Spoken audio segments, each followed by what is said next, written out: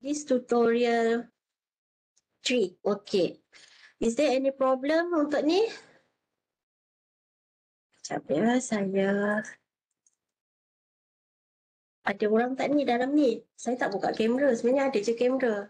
Saya kat office ni. Ha. Okey, sekarang saya bagi jawapan satu persatu. Sebenarnya saya dah letak pun recorded yang kelas malam kan. Dah bagi jawapan pun kan. Betul tak? Tapi bolehlah ulang lagi sekali. Negatif satu, dua, tiga. Ini ialah jawapan untuk yang pertama. And for the second question, the answer, the answer is um, dua, dua, negatif satu, satu. And for the third matrix, the answer is 2 over 3, uh, 13 over 51 and 1 over 3. Okay, yang yang nombor tiga eh. Sorry, metrik panjang pula. Okay, and for number four, the answer is 4, 1, 4. Okay, bagi yang dah buat, boleh semak Okey, sekarang ni soalan dia dia minta kita guna inverse coefficient matrix, Cramer rule and Gauss-Jordan elimination. Gauss-Jordan elimination ni ialah konsepnya ialah ERO tu lah, elementary row operation. And for the Cramer rule, we need to find the determinant. Okey, kejap lagi saya ambil satu persatu eh. And for the inverse, inverse ni macam mana? First tu kita kena cari apa? Determinant dia, betul tak?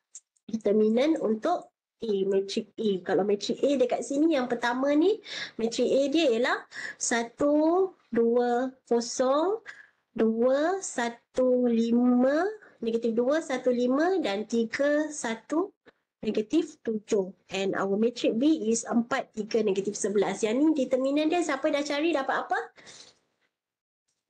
Determinant A. Dapat apa?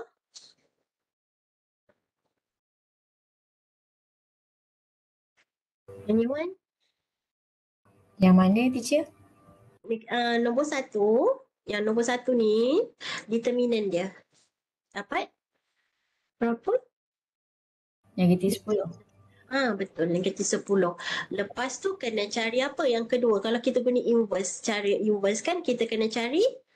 Cofactor. Ah betul, cofactor. Betul? Cofactor. Okay. Lepas kita cari cofactor, we need to find adjoint kan? Okay, adjoint. Okay, yang dah cari cofactor. Yang dah cari cofactor. Cofactor untuk yang pertama ni apa? Sekejap saya padam. Siapa dapat? Negatif 12. Okay, kejap ya. Siapa yang bercakap tu? Saya tak nampak. Siapa yang cakap? Saya. Siapa saya? Saya Tika Atika Iman. Ah Tika. Ah nampak nama. Ah, okay Tika. Thank you, thank you so much. Okay, four factor dia. Negatif 12 lagi? 14. 14 kat bawah ke yang kat kanan? Uh, kanan. Okay, 14 and 10. 10. 1. 1. Negatif 7. Negatif 7. Negatif 5. Negatif 5 negatif 5. Negatif 5. 5 dan 5. 5 dan 5. Okey, yang lain boleh semak yang Tika buat ni. Betul ke salah? Okey, tapi uh, dapat jawapan dia negatif 1, 2, 3 kan Tika? Betul tak? Ah, uh-uh. Uh-uh, betul lah tu. Okey, dan adjoint dia dekat sini kita perlu transposekan cofactor. Betul tak? Okey, ni kita akan dapat 12 14 10 eh? Transpose just now. And this is 1 negative 7 negative 5 and another one is negative 5 5 and also 5 okay. Ni ialah adjoint kita. Lepas kita cari adjoint yang keempat kamu kena cari adjoint ni matrix adjoint kita divide by determinant. Okey, yang ni lah akan dapat kita punya inverse matrix. Okey, inverse matrix tu nanti jawapannya berapa? Yang ni nanti sila kira 6 per 5. Ini saya punya jawapan lah. Negatif. Sama jugalah dengan Tika kan. Betul tak Tika? 7 per 5. Negatif 1. Lepas tu kat sini ialah negatif 1 per 10. 7 per 10. Lepas tu 1 per 2. Dan yang kat sini ialah 1 per 2 negatif 1 per 2 dan negatif 1 per 2. Okey, untuk yang ni, ini ialah kita punya A inverse. Okey, yang kelima menggunakan cara yang pertama, yang ni dengan inverse coefficient. Yang kelima, you have to times A inverse. Yang ni, semua ni kena darab dengan matrik B. B tu yang mana? Yang ni. Okey, itu ialah kali dengan 4, 3, negatif 11. Okey, bila kita dah darabkan dia, nanti jawapan akhir kita akan dapat, yang jawapan akhir ni lah yang saya bagi ni.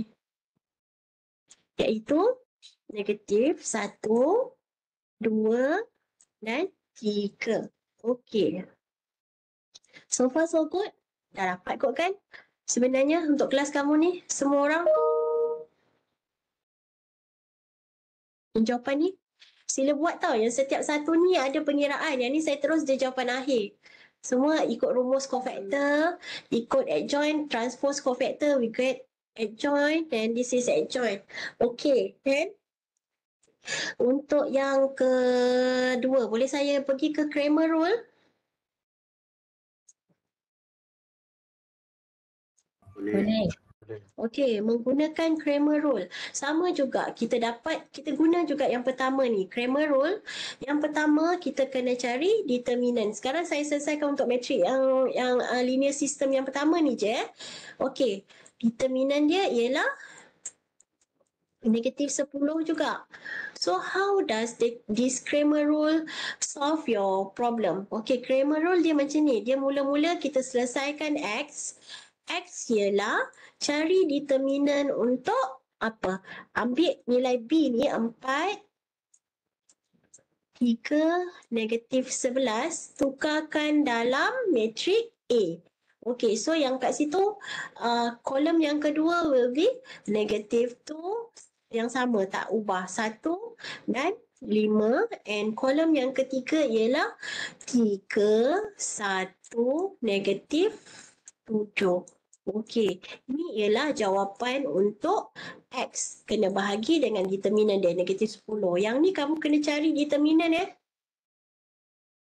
Okey, cari determinan bahagi dengan negatif 10. Nanti dapat jawapan dia negatif 1.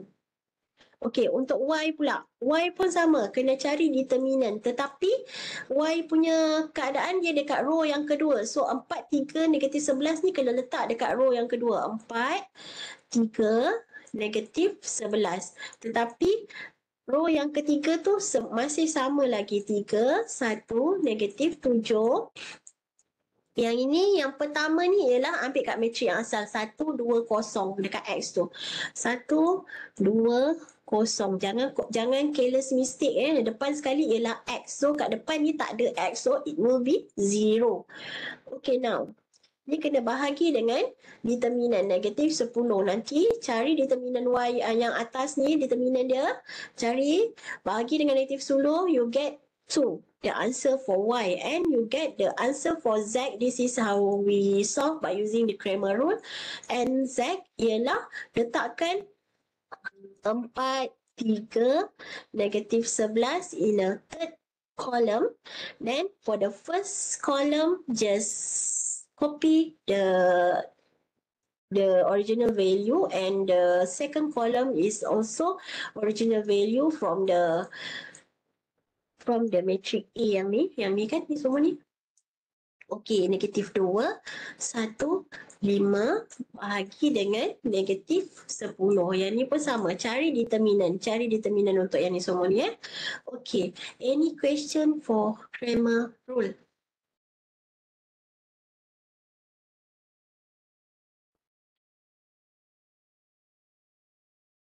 The idea is to get the determinant je.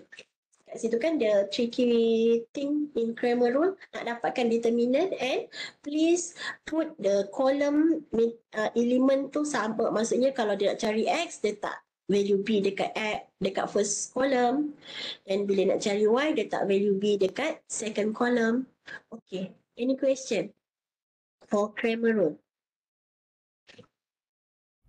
Then, uh, we go for Gauss Jordan. Okay, Gauss Jordan elimination, like I said previous uh, just now is use elementary row operation. So here we have to put our original A matrix. A matrix here, it is 1, 2, 0, then negative 2, 1, 5, and 3, 1, negative 7, and beside it we put 4, 3, negative 11. Then you may do the elementary row operation to get the uh, identity matrix which is 1, 0, 0, 0, 1, 0, 0, 0, buat eh elementary satu persatu macam saya ajar dalam tutorial lepas yang kamu buat tu kan? Okay so we get until we get yang belah kanan ni ialah negatif sekejap saya naikkan. Negatif 1 2 and 3 okay. Hmm. ini saya tak buat tapi saya assume kamu boleh buat. Boleh sila buat tutorial sekarang sampai pukul 1 I give you some time. Boleh habiskan. If you get any problem please uh, contact me. Boleh tengok kat mana yang salahnya. Uh, maksudnya kita boleh buka semula webex ni. Okay. Kalau siapa ada problem buat sekarang eh. Jangan simpan sampai minggu depan. Nanti tutorial 3 tak hantar sila buat sekarang. So untuk minggu ni you already know the inverse, the Cramer rule and the Gauss Jordan. Okay tak? Boleh? Boleh. Ha, lagi satu saya terlupa nak beritahu yang kelas malam my uh, lecture for next week tu kan saya record video eh nanti kamu tengok daripada situ. Sebab masa tu saya tengah dalam flight pergi Sarawak sebab ada conference. Jadi uh, any problem I saya cuba buat tutorial memang macam ni lah kita akan jumpa secara online semasa tutorial macam ni. So if you have problem in the lecture, tapi lecture tu ialah menerangkan aplikasi kepada linear system. Apa yang kita gunakan linear system ni dalam daily life. Okay, selalunya kita guna dalam masalah macam mana. Okay, that's the next following lecture topic. Okay. Boleh? And for Uh, ha, doktor nak tanya jawapan untuk soalan tiga. Yang Y tu saya dapat negatif satu per tiga. okay, kejap-kejap eh. Negatif satu per tiga. Uh, kan? Kejap eh. Dua per tiga. Uh, betul-betul. Saya salah yang kat sini. Kejap-kejap eh. Saya tersalah salin. Yang ni ialah negatif satu per tiga. Betul tak? Uh, betul. Kamu betul. Uh, okay. Terima kasih betulkan saya. Okay. Uh, any question? Okay. So saya serahkan maksudnya saya berhenti dekat sini tutup saya punya webex but if you have problem please let me know kalau perlu saya buka webex saya buka webex or if you want to show your work through the telegram so then I check pun boleh juga kat mana kamu punya silap. Okay. Boleh? Boleh. Okay. Ha, boleh ya? Okay buat sekarang tau sampai pukul satu ni siapkan. Gunakan ketiga-tiga kaedah. So untuk hari ni sepatutnya Gauss Jordan elimination yang guna ERO ni kamu dah laju sikit lah. Betul tak?